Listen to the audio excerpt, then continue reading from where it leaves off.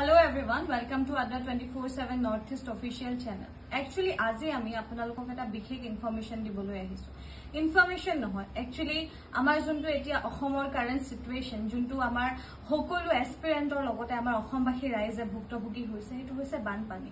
আৰু তাৰ বাবে আমাৰ এছপিৰেণ্টসকলৰ প্ৰিপেৰেশ্যনটোত বহুত বাধা আহিছে আমি গম পাইছো। আৰু কিমান কষ্ট তেওঁলোকে ভুক্তভোগী হৈছে সেয়াটো আমি সকলোৱে জানো। বানপানীৰ লগত আমাৰ অসমৰ ৰিলেশ্যন যোনটো সেইটো বহুত পুৰণা।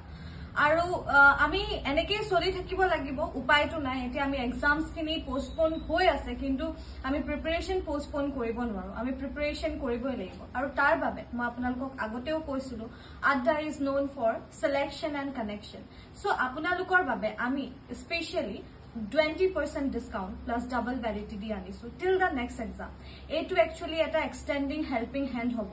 আপোনালোকৰ প্ৰিপেৰেশ্যনত হেল্প কৰিবলৈ আমি এই যোনটো double validity plus twenty percent যোনটো ডিছকাউণ্ট আছে সেইটো লৈ আহিছো।